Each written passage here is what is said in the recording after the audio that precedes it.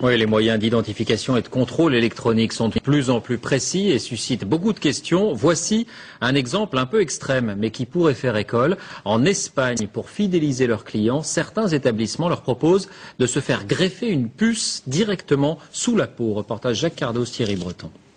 Attention, cet homme est porteur d'une puce électronique. Implantée dans le bras, elle lui permet d'avoir accès au carré VIP. Comme un produit de supermarché, les clients sont barcodés et la puce contient leur crédit consommation. Ainsi, dans cette boîte de Barcelone, il y a ceux un peu vieux jeux qui dansent encore avec un porte-monnaie et ceux qui n'en ont plus besoin. Légalisée depuis un an, cette greffe est même proposée à l'intérieur de la boîte contre 125 euros. L'opération ne dure qu'une vingtaine de minutes.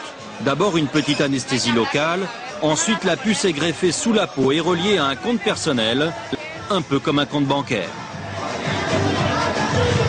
Je ne sais pas pourquoi j'ai voulu faire ça. En fait, c'est peut-être parce que tout le monde l'a. Et puis, c'est pour savoir comment c'est. C'est juste pour ça. Cette puce qui vient des États-Unis a obtenu un droit de commercialisation à condition de ne pas détenir d'informations médicales. Facile à implanter, n'importe qui peut donc s'improviser infirmière de boîte de nuit. C'est plus facile que de faire un piercing. Et ceux qui font ça n'ont pas spécialement d'autorisation. Et de toute façon, je me sens capable de réagir en cas de problème. Une centaine de consommateurs a déjà opté pour l'identification électronique. Un seul petit problème, pour se faire retirer la puce, il faut subir une intervention chirurgicale.